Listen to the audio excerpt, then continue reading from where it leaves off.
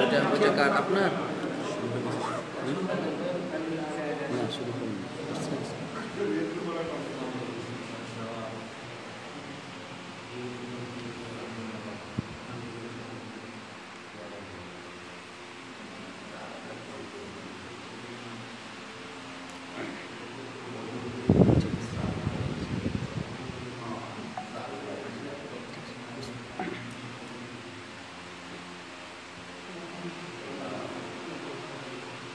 আসসালামু আলাইকুম ওরহমতুল্লাহি ওবরকাত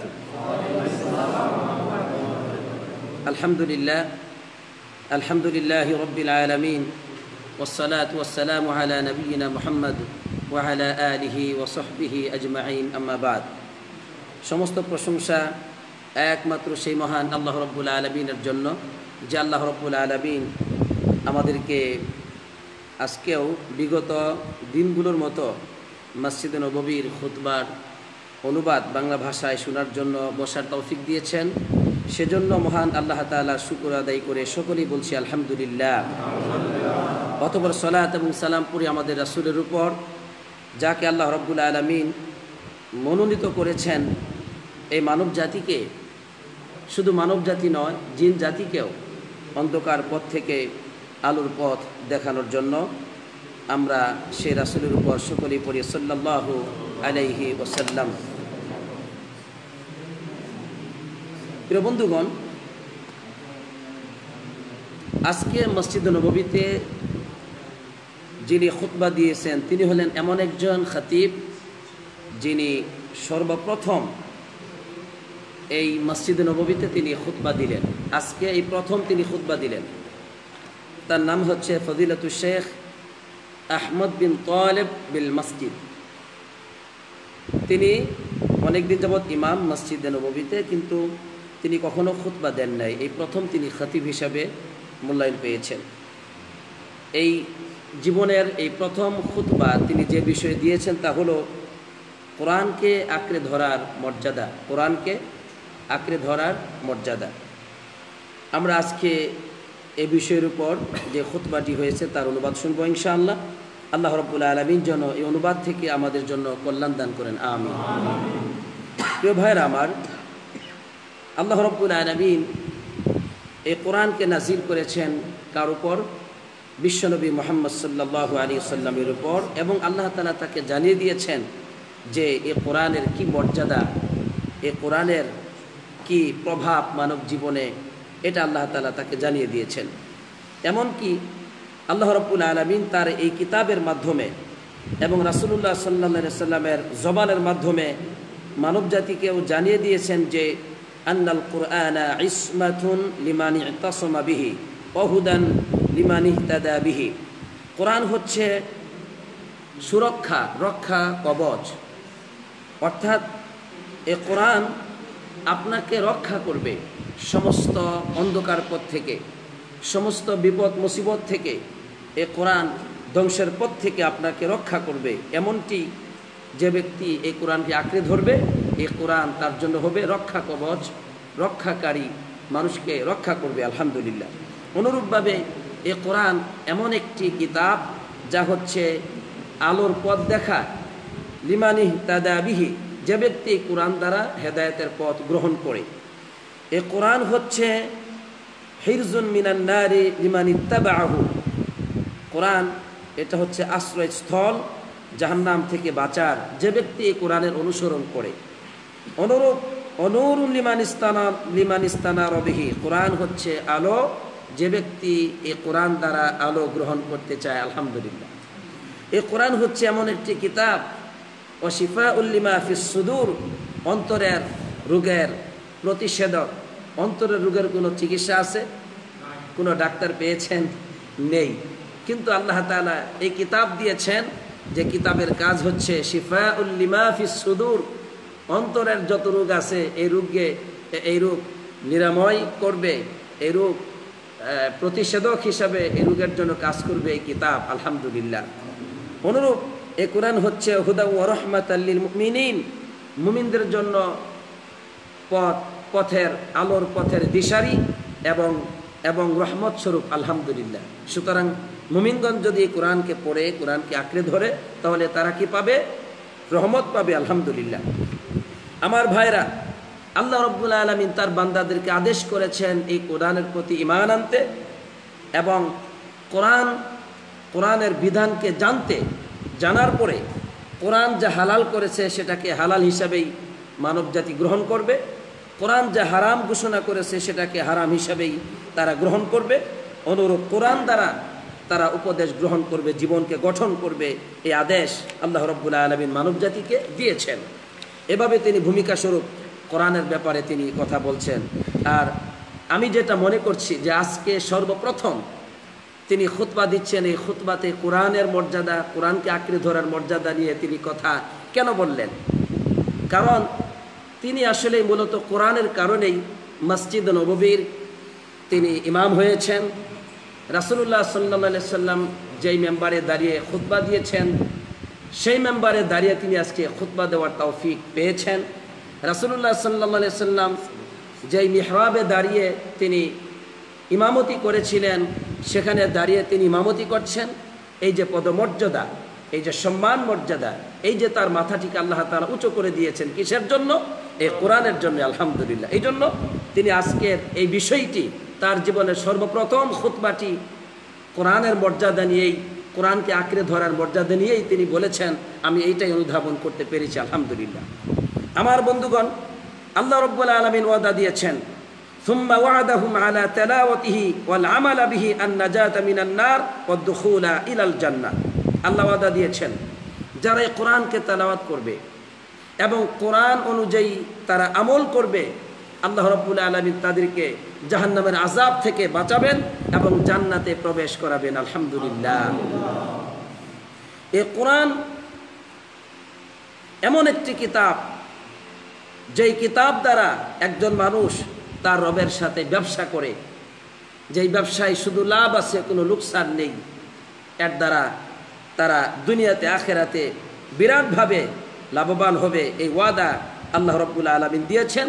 সেই সাথে এই কোরআন তাদেরকে জান্নাত পর্যন্ত পৌঁছে দিবে, আলহামদুলিল্লাহ। এ সম্পর্কে ইমাম সাহেব সুরা ফাতিরের উনত্রিশ থেকে নিয়ে তিনি চৌত্রিশ আয়াত পর্যন্ত তেলাওয়াত করেছেন খুতবাতে।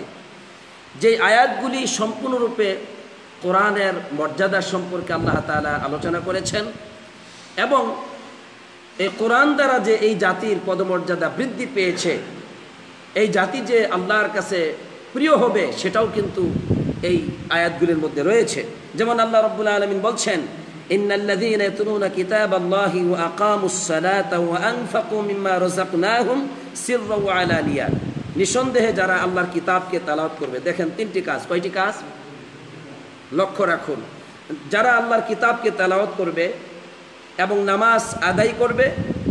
আল্লাহ রব্বুল আলমিন তাদেরকে যে রিজিক দিয়েছেন, তা থেকে প্রকাশ্যে, অপ্রকাশ্যে তারা খরচ করবে। যদি এই তিনটি কাজ তারা করে, আল্লাহ বলেন, ইয়ারজুনা তিজারতাল্লাং তাবুর। এমন ব্যবসা তারা করছে, এমন ব্যবসার আশা তারা করছে, যেই ব্যবসায় কখনো কোনো লস নেই, আলহামদুলিল্লাহ। ফদলি। আল্লাহ রব্বুল আলমিন তাদের কর্মের প্রতিদানকে পরিপূর্ণরূপে দিবেন। এবং তাদের জন্য আল্লাহ তালা তার আপন অনুগ্রহে আরও প্রতিদানকে বৃদ্ধি করে দিবেন, আলহামদুলিল্লাহ। এর মানে কাজের যতটুকু প্রাপ্য আপনি, তা তো দিবেন। আল্লাহ বলছেন, আমার অনুগ্রহে, আমার দয়ায় আমি আরও অনেক বাড়াই দিব, আলহামদুলিল্লাহ। কারণ ইন্নাহু গফুরুন শাকুর। আল্লাহ তালা গফুর, ক্ষমাশীল। শাকুর মানে কৃতজ্ঞতা স্বীকারকারী। এই আয়াত আল্লাহ তালা বর্ণনা করার পরে শেষে আবার গফুর ও শাকুর বললেন কেন? কারণ গফুর হচ্ছে ক্ষমাশীল। এর মানে আপনি আল্লাহর কোরআনকে তেলাওয়াত করবেন। এরপর অবশ্যই আপনাকে কোরআন অনুযায়ী জীবন গঠন করতে হবে, মানতে হবে। কিন্তু যে আপনি পরিপূর্ণই মানতে পারবেন, কখনো ভুল হবে না, এমনটি নয়। এজন্য আল্লাহ তালা বলে দিলেন যে, আমি গফুর। তোমাদের এই কোরআন অনুযায়ী জীবন গঠন করতে গিয়ে গুণা হতে পারে, কখনো ভুল ত্রুটি হতে পারে, কখনো পদস্খলন ঘটে যেতে পারে পা কখনো পিছলা খেতে পারে, পিচ্ছিল্য হতে পারে সেই সব ভুলগুলোকে আল্লাহ রব্বুল্লাহ আলমিন ক্ষমা করে দিবেন। শাকুর মানে কৃতজ্ঞতা স্বীকারকারী। তোমরা দুনিয়ার জীবনে যতই আমল করো, তারপরও সেটা হচ্ছে অতি সামান্য। ওই সামান্য আমলকে আল্লাহ রব্বুল আলমিন গ্রহণ করবেন এবং অনেক গুরুত্ব সহকারে কৃতজ্ঞতা স্বীকার করে সেটাকে তিনি গ্রহণ করবেন, আলহামদুলিল্লাহ। এই জন্য শাকুর অল্পতেই তিনি বান্দাকে বিরাটভাবে পুরস্কৃত করে থাকেন, আলহামদুলিল্লাহ। যা সুরা ফাতিরের উনত্রিশ এবং তিরিশ নম্বর আয়াত বললাম। আল্লাহ রব্বুল আলমিন আরও বলছেন সুরা ফাতিরের বত্রিশ নম্বর আয়াতের মধ্যে যে, সুম্মা কিতাব আল্লাদিন আস্তাফাইনা মিন ইবাদিনা। আপনারা বাড়ি দিকে পড়ে দেখবেন সুরা ফাতিরের উনত্রিশ থেকে নিয়ে চৌত্রিশ আয়াত পর্যন্ত। সেখানে মূল্যবান কথাগুলো আছে। যে আমি, এরপরে আমি এই কিতাবের উত্তরাধিকারী করেছি আমার বান্দাদেরকে। এর মানে এই উম্মতকে, উম্মতি মোহাম্মদীকে আল্লাহ উত্তরাধিকারী করেছেন এই কিতাবের। বলুন, আলহামদুলিল্লাহ। আল্লাহ তালা আমাদেরকে কোরআনের উত্তরাধিকারী বানিয়েছেন, আলহামদুলিল্লাহ। তবে এই কোরআনকে সবাইকে শক্তভাবে আঁকড়ে ধরে, না, তাদের মধ্যে সবাই সমানভাবে কোরআনকে আঁকড়ে ধরে না। তিনটি শ্রেণীতে আল্লাহ রব্বুল আলম বিভক্ত করেছেন। কয়টি শ্রেণি? তিনটি শ্রেণি। আল্লাহ বলছেন ফামিন হুম জলিমুল্লি নাফসিহি অমিন হুম মুক্তাসিদ অমিন হুম সাবিকুম বিল খৈরতি ইদিনিল্লাহ যে তিনটি অবস্থা কোরআনকে যারা আঁকড়ে ধরে, তাদের কয়টি অবস্থা? অথবা এই উম্মতের মধ্যে কোরআনের প্রতি যারা ইমান এনেছেন ইমান আনার পরেও তাদের অবস্থা কয়টি? তিনটি। এক নম্বর ফামিন হুম জলিমুল যারা নিজেদের উপর জুলুমকারী। এর মানে তারা ফরজ ইবাদতগুলো আদায় করে, কিন্তু দেখা যায় কখনো কখনো কোনো হারামে তারা লিপ্ত হয়ে যায়। এই জন্য তারা জলিমুল লিনাফসিহি, নিজেদের উপর জুলুমকারী। এক, তবে তারা কুফুরি এবং শিরিক করে না, কি গুণা করে না বলুন? কুফুরি এবং শিরিকের গুণা তাদের মাঝে নেই, তবে তারা গুণা করে। ফরজ ইবাদতগুলো আদায় করার পরে তাদের অনেক ক্ষেত্রে গুণা হয়ে যায়। এগুলো এক। দুই নম্বর, অমিনহুম মুক্তাসির, যারা হচ্ছে মধ্যম পন্থা অবলম্বনকারী। কেমন? তারা হারাম কাজ করে না এবং ফরস ইবাদতগুলো ফরস ইবাদতগুলো আদায় করে, তবে তারা নফল ইবাদত যে খুব বেশি করে তা নয়। মধ্যম পন্থা অবলম্বনকারী। তিন অমিন হুম সাবিকুম বিল খৈরতি অমিন হুম সাবিকুম বিল খৈরতি বিদিনিল্লা আর তাদের মধ্যে এক শ্রেণি আছে যারা খুব কল্যাণের দিকে প্রতিযোগিতাকারী, দ্রুতগামী। তবে কীভাবে তারা এইভাবে কল্যাণকর কাজ করে? মানে ফরজ ইবাদতও তারা যথাযথভাবে আদায় করে। সেই সাথে হারাম থেকে তো বেঁচে থাকেই। রাত এবং দিন তারা প্রাণান্তকর প্রচেষ্টা চালাচ্ছে নফল ইবাদতের মধ্যে, আলহামদুলিল্লাহ। এইরকম মানুষ তারা। এবার আল্লাহ বলছেন যে বিইদিনী, কীভাবে? বিইদিনিল্লাহ। এই যে তারা এত বেশি ইবাদত করছে, আল্লাহর এত প্রিয় বান্দা হচ্ছে, এটা কীভাবে? বিইদিনিল্লাহ, আল্লাহর তৌফিকে, আলহামদুলিল্লাহ। এর মানে তারা যেন বেশি ইবাদত করার পর এটা মনে না করে যে আমরা খুব একটা কিছু হয়ে গেছি। আমরা অনেক কিছু করে ফেলেছি, এটা যেন মনে না করে, বরং আল্লাহর তৌফিকেই তারা পাচ্ছে, তারা যেন আল্লাহ শুকুর আদায় করে, আলহামদুলিল্লাহ। এরপর আল্লাহ বলছেন যে দালিকা হল ফজলুল কবির। এটাই হচ্ছে বিরাট বড় একটি অনুগ্রহ, বিরাট বড় পুরস্কার আল্লাহর পক্ষ থেকে, আলহামদুলিল্লাহ। তাহলে এখানে লক্ষ্য করুন যে তিনটি শ্রেণীতে এই উম্মত বিভক্ত যারা ইমান এনেছেন তারা। তারপরেও ওই যে যারা মাঝে মধ্যে গুণা করে, হারামে লিপ্ত হয়, তবে কুফুর এবং শিরিক করে না, তারাও কিন্তু কোথায় যাবে? জান্নাতে যাবে, আলহামদুলিল্লাহ। তারাও জান্নাতে যাবে। এ সম্পর্কে আল্লাহ তালা বলছেন যে তারা যখন জান্নাতে যাবে তখন জান্নাতে যাওয়ার পরে তারা শুক্র আদায় করবে সমস্ত জান্নাতিরা। ওয়াকালুল হামদুলিল্লাহ আদহাবা আন্নাল হাজান তারা বলবে, সকল প্রশংসা একমাত্র সেই সত্তার জন্য, আল্লাহর জন্য, যিনি আমাদের সমস্ত চিন্তা ভাবনাকে, দুশ্চিন্তাকে দূরীভূত করে দিয়েছেন, আলহামদুলিল্লাহ। জান্নাতে প্রবেশ করেছেন। এখন আর তাদের কোনো চিন্তা নাই, কোনো টেনশন নেই, আলহামদুলিল্লাহ। এই জন্য তারা সেদিন আল্লাহর প্রশংসা করবে। সেই সাথে তারা আবার আল্লাহর আসমা ও সিফত দিয়েও প্রশংসা করবে। ওই যে একটু আগে আল্লাহ বললেন না, যে ইন্নাহু গফর শাকুর। বললেন না যে কোরআনের, আমি তাদেরকে এই রিওফিয়াল মুজুর মাজিদ আহমিন ফাদলি, তাদের কর্মের প্রতিদান পরিপূর্ণভাবে দিব, সেই সাথে আমি আবার তাদেরকে আমি আরও বাড়াই দিব আমার অনুগ্রহে। আমি কেন বাড়াই দিব? ইন্নাহু গফরুন শাকুর। আমি আল্লাহ তালা নিজে গফুর ক্ষমা করে দিয়ে গুণা করি, আবার শাকুর অল্প আমলেই গ্রহণ করে সেটাকে অনেক বেশি প্রতিদান দেয়, এই যে আমার গুণ। এই কথাটি আবার ওই জান্নাতবাসীরা স্বীকার করবে। পরের আয়াতে আল্লাহ তালা চৌত্রিশ নম্বর আয়াতে বলছেন যে, জান্নাতিরা আল্লাহর প্রশংসা করার সময় বলবে যে, আল্লাহ তো আমাদের সব চিন্তা দূর করে দিয়েছেন, তার প্রশংসা করছি। তবে ইন্না রব্বানা লাগফুর শাকুর, আমাদের রব হচ্ছে গফুর, ক্ষমাশীল। তিনি আমাদের কত গুণা হয়ে গেছে জীবনে চলতে গিয়ে, এই গুণাগুলি আল্লাহ মাফ করে দিয়েছেন। সুবাহান তিনি গফুর, শাকুর। আমরা আর দুনিয়ার জীবনে কি আমল করেছি? সব আমলগুলিকে আল্লাহ কবুল করেছেন, আর এত বেশি গুণে আমাদেরকে সম্মানিত করেছেন যে ওই সামান্য আমল দ্বারা এত বিশাল মর্যাদার জান্নাতে আমরা কখনো প্রবেশ করতে পারতাম না সুবাহান আমরা এই জন্য জান্নাতিরা এই এই আল্লাহর আসমা সিফত দিয়ে আল্লাহর প্রশংসা করবে, গফর শাকুর। এই জন্য আমরাও বলতে পারি, আল্লাহ, বলুন, হে আল্লাহ, তুমি গফরুন, শাকুর। গফুর মানে আমাদের গুণাগুলিকে তুমি মাফ করে দাও। শাকুর, আমরা যাই কিছু কিছু আমল আমরা করে থাকি, এগুলোকে তুমি তোমার শাকুর নামে রসিলা করে কবুল করে নাও। আমি আলহামদুলিল্লাহ।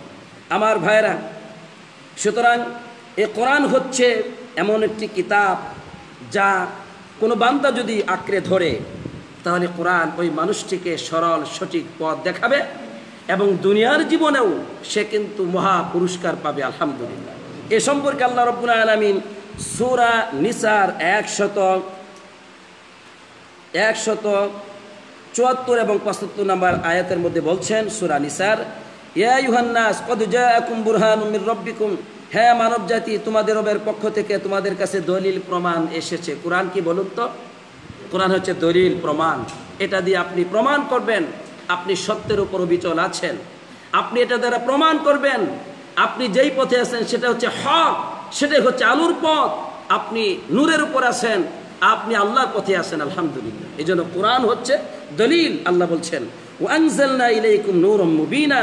আর আমি আল্লাহ তালা তোমাদের কাছে স্পষ্ট নূর নাজিল করেছি, আলহামদুলিল্লাহ। কোরআন আলো, কোরআনই হচ্ছে দলিল। আল্লাহ বলেন, সুতরাং ফাম্মাল্লাদিন আমানু বিল্লাহ, যারা আল্লাহর প্রতি ইমান আনবে ওয়াতাসমু বিহি, আল্লাহ তালাকে শক্তভাবে আঁকড়ে ধরবে। মানে কোরআন অনুযায়ী আল্লাহ তালার ইবাদত করবে, জীবনকে গঠন করবে। তাহলে ফাসাইদু খিলুহুম ফি রহমাতি মিনহুয়া ফদল। আল্লাহ তালা অচিরেই তাদেরকে আল্লাহর রহমতে এবং অনুগ্রহে প্রবেশ করাবেন। এর অর্থ হচ্ছে, আল্লাহ তালা তাদের থেকে বিভিন্ন ধরনের বিপদ, মুসিবতকে উঠিয়ে নেবেন এবং অসংখ্য কল্যাণ তাদেরকে দান করবেন, আলহামদুলিল্লাহ। সুতরাং দুনিয়াতে যদি আপনি কোরআনকে পড়েন, আঁকড়ে ধরেন, আমল করেন, শিখেন, শিখান, এগুলো যদি করেন, তাহলে আল্লাহ তালা অচিরেই আপনার পরিবারে আপনার ব্যক্তি জীবনে আপনার সামাজিক জীবনে রাষ্ট্রীয় জীবনে আল্লাহ তালা কি দিবেন? অসংখ্য কল্যাণ দিবেন, আলহামদুলিল্লাহ। আল্লাহ নিজে বলেছেন অচিরেই আল্লাহ তাদেরকে আল্লাহর রহমতে, আল্লাহর অনুগ্রহে প্রবেশ করাবেন, আলহামদুলিল্লাহ। এর মানে আল্লাহ তো অনেক কল্যাণ দিবেন, সেই সাথে অসংখ্য বিপদ, মুসিবতগুলো আল্লাহ তালা উঠিয়ে নেবেন। মুস্তাকিমা, এবং তাদেরকে আল্লাহ তাআলা সরল, সঠিক পথ দেখাবেন, আলহামদুলিল্লাহ। এর অর্থ হচ্ছে, তাদেরকে অনেক সৎ আমল করার তৌফিক আল্লাহ তাআলা দুনিয়াতেই দিবেন, আলহামদুলিল্লাহ। তারা সত্যের উপর অবিচল থাকতে পারবে শিরিক এবং কুফুর থেকে আল্লাহ তাদেরকে হেফাজত করবে এভাবে তারা অসংখ্য কল্যাণকর কাজের উপর জীবনকে গঠন করতে পারবে। আলহামদুলিল্লাহ। প্রিয় বন্ধুগণ, এ কোরআন হচ্ছে এমন একটি কিতাব যা হচ্ছে বরকতময়। কেমন কিতাব? বরকতময়, আলহামদুলিল্লাহ। এর মধ্যে শুধু বরকত আর বরকত। পুরোটাই বরকত। এ সম্পর্কে আল্লাহ রব্বুল্লাহ আলম সুরা আন আমের একশত পঞ্চান্ন নম্বর আয়াতে বলছেন কিতাবুন আনজালনাহু ইলাইকা মুবারাকুল লিয়াদাব্বারু আয়াতিহি ওয়া লিয়াতাযাক্কারু উলুল আলবাব। এটা হচ্ছে এমন একটি কিতাব আমি নাজিল করেছি আপনার নিকটে, যেটা হচ্ছে মুবারকুন কিতাবটা কেমন? মুবারক, বরকত। এর মধ্যে বরকত, কোরআন পড়লে বরকত, কোরআন মানলে বরকত কোরআনের পথে চললে বরকত, এটার মধ্যে শুধু বরকত আর বরকত। আপনি নিজে শিখবেন, বরকত পাবেন। আপনার স্ত্রী সন্তানকে কোরআন শিখাবেন, বরকত পাবেন। আপনার পরিবারে কোরআন তালাত হবে কোরআনের আলোচনা হবে, কোরআনের দর্শ হবে, কোরআন শিখবেন, বরকত পাবেন, আলহামদুলিল্লাহ। লিয়াদ্দাব্বরু আয়াতিহি, আল্লাহ বলছেন, তারা যেন এর আয়াত নিয়ে একটু চিন্তা ভাবনা করে, গবেষণা করে, অর্থাৎ তারা যেন এর অর্থ বুঝে এবং চিন্তা ভাবনা করে যে এখানে অর্থের মধ্যে আল্লাহ কি বলেছেন, আল্লাহর পরিচয় আল্লাহ বলেছেন এবং আল্লাহ কি আদেশ করেছেন, এগুলো যেন তারা বুঝে আর জ্ঞানীরাই একমাত্র উপদেশকে গ্রহণ করে থাকে। সুতরাং কোরআন হচ্ছে বরকতময়, যদি এটাকে আমরা পড়ি, গবেষণার সহিত আমরা যদি এটাকে গ্রহণ করি। আমার ভাইরা এই কোরআন শুধুমাত্র মানুষ, আমরাই যে শুনি তা না। আমরাই যে কোরআন পড়ি আর কোরআন দিয়ে দাওয়াত দেই, এমনটি নয়। বরং কোরআন জিনেরাও শুনে, তারা এই কোরআনকে মানুষের কাছে, কি বলে, তাদের জিনদের কাছে এই কোরআন তারা দাওয়াত দেয়, আলহামদুলিল্লাহ। এ সম্পর্কে সুরা জিন এবং সুরা আহকাফের উনত্রিশ তিরিশ এবং একত্রিশ নম্বর আয়াতের মধ্যে আল্লাহ তালা বিবরণ দিয়েছেন যে সুরা জিনার দুই নম্বর আয়াতে আল্লাহ তালা বলছেন, এক এবং দুই নম্বর যে, কুল উ উহিয়া ইলাইয়া আন্নাহু ইসতামা'a নাফারুম মিনাল জিন্নি ফাকালু ইন্না সামি সামি'না কুরআনান আজাবা। যে যখন তুমি বলে দাও, যখন আমার কাছে ওহি নাজিল করা হলো, তখন ইস্তামা নাফারু মিনাল জিন, জিনের একটি দল চলে আসলো কোরআন শোনার জন্য রাসুল্লাহ সাল্লাহ সাল্লামের কাছে এবং তারা এই কোরআন শুনে বলল, আমরা সামিনা কোরআন আজাবা, আমরা একটা আশ্চর্য ধরনের কিতাব শুনলাম সুবহান আল্লাহ কোরআনটা আশ্চর্য। কোরআনের ভিতরে যে অর্থ আছে, কোরআনের ভিতরে যে আল্লাহর পরিচয় তুলে ধরা হয়েছে, কোরআনের মধ্যে যে উপদেশগুলো দেওয়া হয়েছে, মানুষের উপর যে বিধান এবং বিধানগুলো যে কত ন্যায়পরায়ণ, কত উন্নত, কত তাদেরকে শান্তির দিকে এবং সম্মান ও মর্যাদ- মর্যাদার দিকে আহ্বান করে। এগুলো শুনে জেনারা খুব আশ্চর্য হয়ে গেল। সুখ শান্তির কথা বলা হয়েছে, জান্নাত জাহান্নামের কথা আসছে। তখন তারা বলছে ইহাদি ইলা রুশদি ফামান নাবি। কোরআন আমাদেরকে সরল সঠিক পথ দেখায়, এরপরে আমরা ইমান আনলাম। আর ইমান আনার পরে দেখেন, সাথে সাথে কি বলছেন? ওয়ালান নুশ্রিকা বিরব্বিনা হাদা কি বলছেন? ওয়ালান নুশ্রিকা বিরব্বিনা আহাদা, আমরা আমাদের রবের সাথে কাউকে শরিক করব না সুবহান আল্লাহ বলছেন, কখনো আমরা আমাদের রবের সাথে শরিক করব না, শিরিক করব না সুবহান আল্লাহ সাথে সাথে বুঝে গেলেন, কিন্তু কত কপাল করা মুসলমান আছে। কোরআন পড়ে, হজেও আসে, আবার কবরে গিয়ে সেজদাও দেয়। এরপরে অলিয়া উলিয়াদের কবরে গিয়ে জবাইও করে। বলে অলিয়া উলিয়ারে আমাদেরকে জান্নাতে নিয়ে যাবে, জাহান্নাম থেকে বাঁচাই দিবে। মরার পরেও তারা আমাদেরকে কবরে সোয়াল জবাবের সময় সাহায্য করবে। আমরা দুনিয়াতে যখন বিপদে, মুসিবতে থাকি, তখন তারা আমাদের ডাকে সাড়া দেয়, আমাদেরকে সাহায্য করে। বলুন, নাউজুবিল্লাহ। জেনেরা কোরআন শোনার সাথে সাথে তারা বলছে কখনো আমরা আমাদের রবের সাথে শিরিক করব না সুবাহান আল্লাহ রব্বুল আলমী সুরা হাকাফের উনত্রিশ, তিরিশ এবং একত্রিশ নম্বর আয়তের মধ্যে বলছেন ওয়াইদি সরফনা ইলাই কানাফর মিনাল জিন্নি ইয়াস্তামিউল কোরআন। আমি যখন জিনের একটি দলকে আপনার দিকে ফিরিয়ে দিলাম যে তারা কোরআনকে শুনলো, কোরআনকে শুনতেছিল তারা। ইস্তামিউল আল কোরআন, কোরআনকে তারা শুনলো, শোনার জন্য আসলো। ফালাম্মা হাদরুহু, যখন তারা উপস্থিত হয়ে গেল সেখানে কলু আংসিতু, জিনারা একে অপরকে বলে দিল, আংসিতু, চুপ করো, কোরআন। তাহলে চুপ করো মানে মনোযোগ দিয়ে কোরআনটাকে তোমরা শুনো আলহামদুলিল্লাহ মনোযোগ দিয়ে ফালাম্মা কুদিয়া ওয়াল্লাউ ইলা কওমিহিম মুনজিরিন যখন কোরআন আয়াত তেলাওয়াত করা শেষ হয়ে গেল নবীজির তখন তারা তাদের কওমের কাছে ফিরে গেলেন এবং তারা মুনজিরিন ভীতি প্রদর্শন করছেন কওমকে সুবহান আল্লাহ এজন্য কোরআন দিয়ে তারা দাওয়াত দিচ্ছেন কি কি বলতেছেন দেখেন قالوا يا قومنا إنا سمعنا كتابا أنزل من بعد موسى مصدقا لما بين يديه يهدي إلى الحق হে আমার কম শোনো হে আমাদের কমেরা, শোনো, আমরা একটা আশ্চর্য ধরনের কিতাব শুনেছি, যা মুসা ইসলামের উপর যা নাজিল করা হয়েছে, সেটাকে সত্যায়ন করে। অর্থাৎ এই কিতাবের পূর্বে যা এসেছে, সবগুলিকে সত্য বলে স্বীকৃতি দেয় এই কিতাব। এমন একটি কিতাব আমরা শুনেছি ইয়াদিল আল হাক্কি। এই কোরআন সত্যের পথ দেখায়। কোন পথ দেখায়? কোরআন কোন পথ দেখায়? সত্যের পথ দেখায়। ওয়াইলা তরিকিম মুস্তাকিম। এবং সরল সঠিক পথ দেখায়, আলহামদুলিল্লাহ। ইয়া কম আজিবু দাইয়াল্লাহ ওয়া বিহি। হে আমাদের কম আল্লাহর দাওয়াতকে তোমরা গ্রহণ করো, আল্লাহর ডাকে তোমরা সাড়া দাও এবং কোরআনের প্রতি ইমান আনো। তাহলে লাভটা কি হবে? তোমাদের গুনাহগুলিকে মাফ করে দিবেন। জিনেরা, জিনদেরকে বলতেছে, তোমাদের গুনাহগুলিকে আল্লাহ তাআলা মাফ করে দিবেন। এই কোরআনের ডাকে তোমরা যদি সাড়া দাও ওয়া ইউজিরিকুম মিন আযাবিন আলিম, এবং তোমাদেরকে যন্ত্রণাদায়ক আযাব থেকে আল্লাহ তাআলা হেফাজত করবেন, আলহামদুলিল্লাহ। প্রিয় ভাইয়ের আমার, সুতরাং জিনেরাও কোরআন শুনে, কোরআন পড়ে, কোরআন দ্বারা তারা তাদের কমকে দাওয়াত দেয়, আলহামদুলিল্লাহ। আমরা দিব না? আমরা দিব না? কি পরিবারকে দাওয়াত দিচ্ছেন কোরআন দ্বারা? দিলে তো ভালো, আলহামদুলিল্লাহ। আর যদি শুধু পরিবারে সিডি বিসিডি তারপরে আরও যতগুলো আছে গান বাজনা শোনার জন্য আরও যত কিছু আছে আনন্দ ফুর্তি করার জন্য কিনে দেন, তাহলে এগুলো দ্বারা কোরআনের বিপরীত দিকে, শয়তানের দিকে আপনি কি করলেন? আহ্বান করলেন। বরং কোরআন শিখান, কোরআনের পথে তাদেরকে ডাকেন, আপনি বরকত পাবেন, আপনার পরিবার সবাই বরকত পাবে, আলহামদুলিল্লাহ। আমার ভাইরা কোরআন শোনার ব্যাপারে- ইমাম সাহেব একটা আদব বললেন যে কোরআন শুনতে হবে কীভাবে? খুব মন দিয়া। কীভাবে? কোরআন যখন পড়বেন, মনোযোগ দিয়ে পড়বেন, কোরআন যখন আমরা শুনব, তখন খুব অন্তর দিয়া শুনতে হবে। এই সম্পর্কে আল্লাহ বলছেন যে ইন্নাফি দালিকা লাদিকর আলিমান কান আলহ কলবুন। মানে এই এই কোরআনের উপদেশ ওই ব্যক্তির জন্য রয়েছে, যে ব্যক্তি রয়েছে একটি কল মানে জীবিত কল্প লাগবে, মৃত কল্প হলে হবে না। কোরআন দ্বারা কোনো উপদেশ গ্রহণ করে না কল্প এত শক্ত হৃদয় কোরআনের শুনলে তার মন নরম হয় না। এইরকম হৃদয় দিয়ে কোনো মানুষ কোরআন দ্বারা উপকৃত হতে পারবে না। বরং আল্লাহ বলছেন, পবিত্র একটা আত্মা লাগবে। অথবা যে ব্যক্তি কোরআন, কোরআনের দিকে তার মানে ওই, এই এই কি বলে, শ্রবণ শক্তিকে জ্বলন্ত করে দেয়, শুনে ভালোভাবে, যে কোরআনটা ভালোভাবে শুনে। বহুয়া শাহিদ, এবং সে উপস্থিত থাকে মানে তার হৃদয়টি কোরআন যখন শুনে, ওই কোরআনের দিকে জ্বলন্ত থাকে, একে একদম উপস্থিত। মানে এইরকমভাবে যদি আমরা কোরআন শুনি, তখন এই কোরআন দ্বারা আমরা উপদেশ গ্রহণ করতে পারব। কিন্তু আমি কোরআন পড়ছি, শুনছি, আমার মন অন্যদিকে, তাহলে কিন্তু আমি কোরআন দ্বারা উপদেশ গ্রহণ করতে পারব না। এটাই হলো কোরআন তালাওতের আদব, কোরআন শোনার আদব।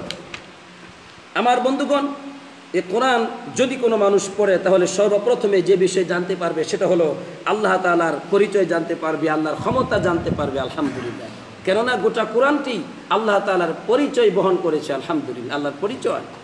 কোরআন। এরপরে আল্লাহ সম্মান মর্যাদা জানবে আল্লাহ কি আদেশ করেছেন সেগুলো জানবে, সেই সাথে আল্লাহকে নিষেধ করেছেন এগুলো সবই জানতে পারবে, আলহামদুলিল্লাহ। সুতরাং এই কোরআনকে গুরুত্ব সহকারে তেলাওয়াত করা উচিত।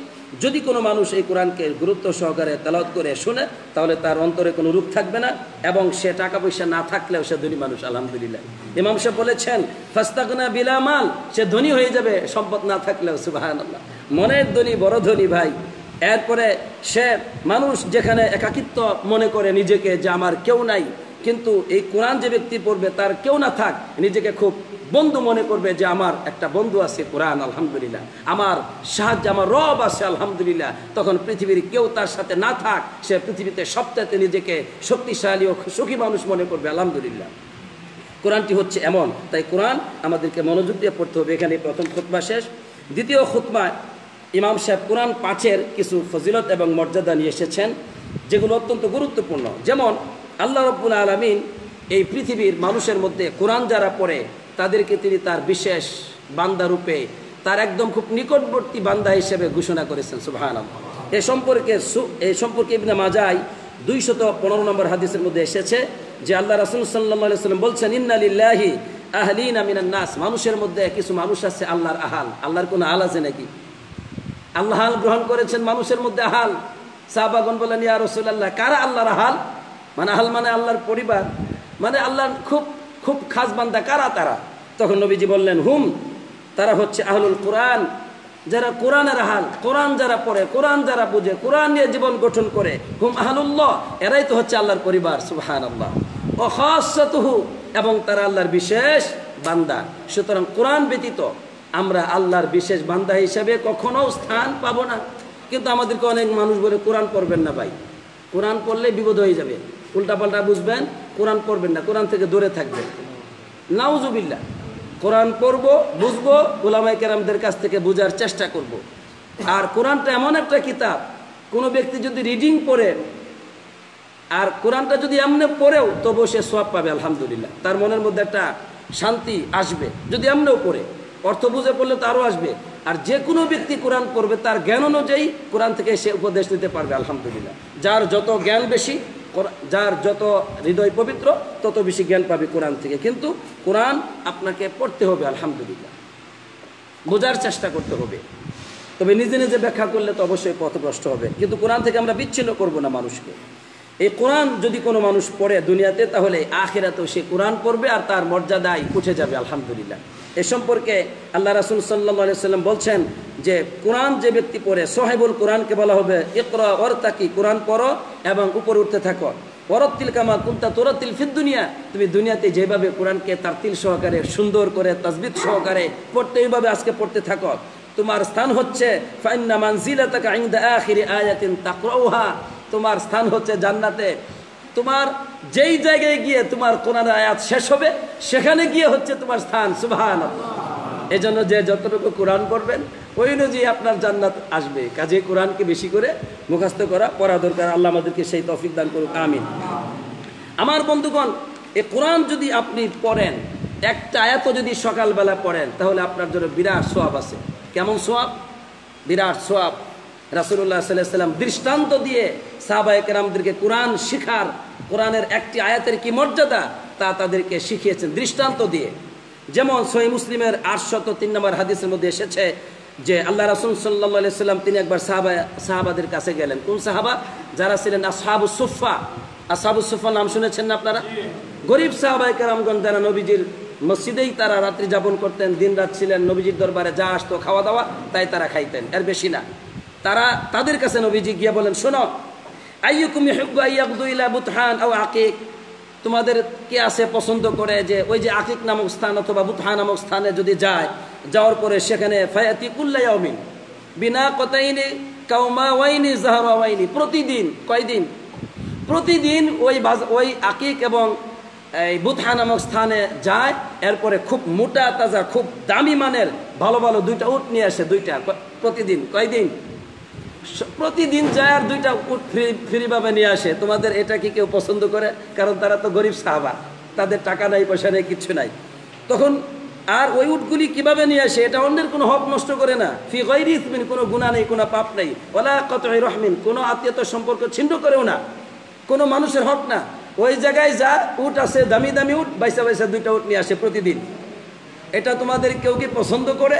সাহাবাগন বললেন, ইয়া রসুলাল্লাহ কুল্লু কুল্লু আমরা সবাই সেটা পছন্দ করি। কে আবার পছন্দ করে না? সবাই আমরা পছন্দ করি।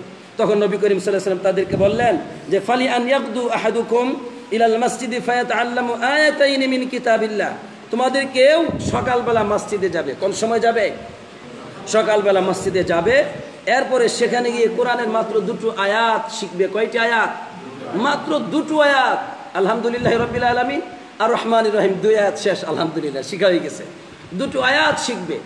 সেই শিখাটা আপনার অর্থ শিখতে পারেন, তেলাওয়াত শিখতে পারেন, নাজরানা শিখতে পারেন। আপনি শিখছেন মাত্র দুটো আয়াত।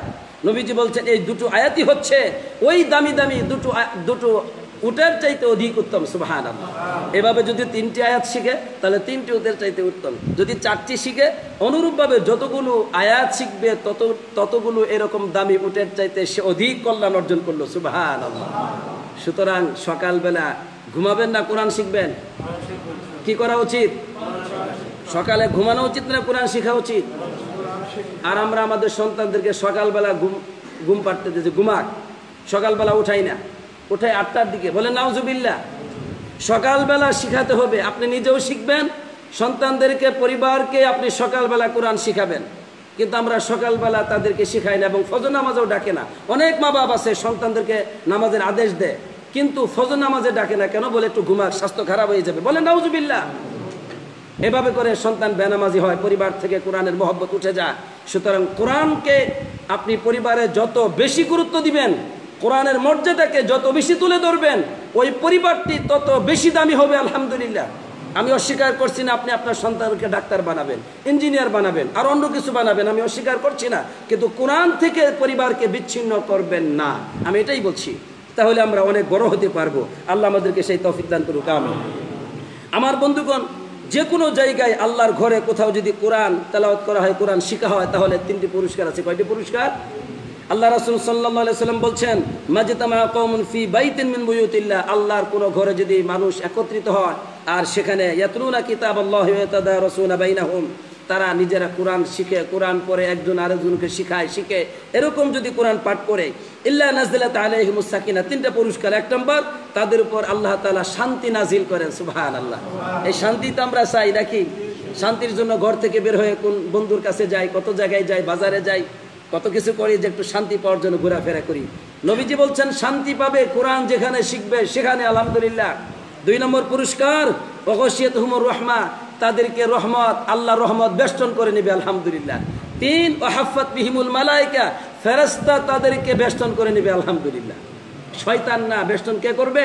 ফেরাস্তা তিনটি পুরস্কার না, চারটা পুরস্কার। আরেকটি পুরস্কার হচ্ছে ওয়াদাকার রহমুল্লাহ ফিমান ইংদাহু এই যে যারা আল্লাহর কোরআন শিখার জন্য মজলিসে বসেছেন তাদের ব্যাপারে আল্লাহ তালা আল্লাহর কাছে যারা আছে ফেরাস্তাগণ তাদের সাথে আলোচনা করবেন সুবাহান আল্লাহ এই মর্যাদা পেতে চান না, তাহলে কোরআনের মজলিসে বসতে কোথায়? নাকি ফেসবুকের মজলিসে বসবেন, নাকি পেপারের মজলিসে বসবেন, নাকি আপনি ইউটিউবের মজলিসে বসবেন, না কোথায় বসবেন? বাজে আড্ডার, সিগারেট খাওয়ার মজলিসে বসবেন। বলেন, নাউজুবিল্লাহ। এই সব শয়তানিগুলি থেকে, বিরত থেকে কল্যাণের দিকে ফিরে আসতে হবে। আমি আবার আমভাবে এগুলোকে নিষেধ করলাম না। যতটুকু প্রয়োজন তা গ্রহণ করা জায়েজ, কিন্তু প্রয়োজনের অতিরিক্ত যেন আপনি ওখানে ডুবে না যান, তাহলে বিপদে পড়বেন।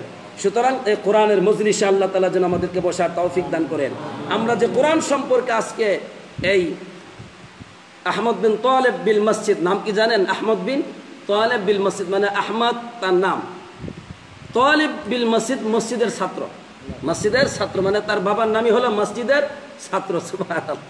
তো যাই হোক, এভাবেই তারা মসজিদকে গ্রহণ করেছিলেন।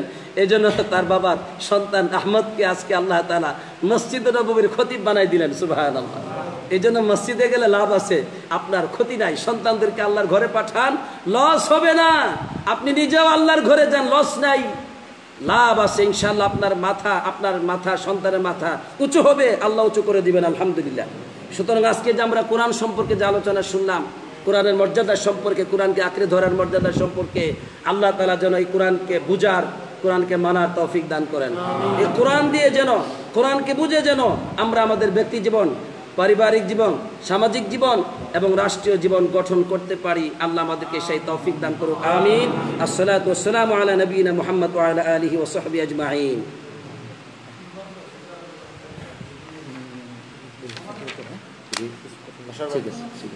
আসসালামু আলাইকুম রহমতুল্লাহ আমরা আজকে যে শুনলাম